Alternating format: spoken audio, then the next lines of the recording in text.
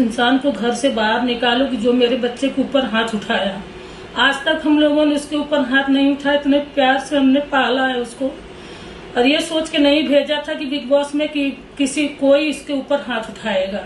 ये हम लोगों से बिल्कुल सहन नहीं हो रहा है। मैं तो जब से सुनी हूँ, मेरा तो दिल बैठा जा रहा है। वीडियो बनाने का मकसद यही है कि कल का जो एपिसोड आया था, उसमें ये दिखाया गया कि विशाल की पर्सनालिटी सब फेक दिखा रहे हैं दिखा रहा है और ये सब चल रहा है।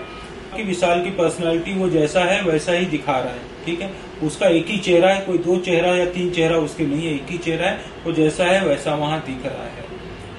नंबर टू उसके ऊपर जो एलिगेशन लगाए जा रहे हैं कि कृतिका के लिए या जो भी है, आप मेरे को बात बताइए कि किसी को प्रेस करना कैसे गलत हो सकता है? मेरा विशाल का नेचर ऐसा नहीं है। आप लोग बोलेंगे कि सबके माँ बाप ऐसे ही बोलते होंगे बट ऐसा नहीं है। रियल में विशाल ऐसा नहीं है।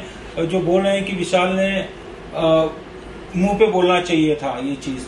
तो आप लोग देखिए वीडियो, विशाल ने कृतिका को भी यही चीज़ बोला है कि भाभी आप मेकअप के बिना भी सुंदर लगती है। किसी को प्रेज करना कोई मेरे हिसाब से तो गलत नहीं हो सकता है। और दूसरा चीज़ ये मैं बोलूँगा कि अरमान ने जो मेरे बेटे को थप्पड़ मारा है कल, उसके लिए बिग बॉस से या जो मेकर्स है, उनसे मेरी दोनों हाथ जोड़ के रिक्वेस्ट है कि वो क्रिमिनल को बाहर निकाले। भाई, हम आपको ये बताना चाहते हैं, हमारी फैमिली ऐसी नहीं है। हम बहुत सीधे साधे लोग हैं। मेरा बेटा अपनी मेहनत से पहुँचा है वहाँ तक। किसी के सपोर्ट से नहीं पहुँचा। उसने अगले दम पे जो भी हासिल किया, उसने किया है। एंड प्राउड ऑन ही ठीक है?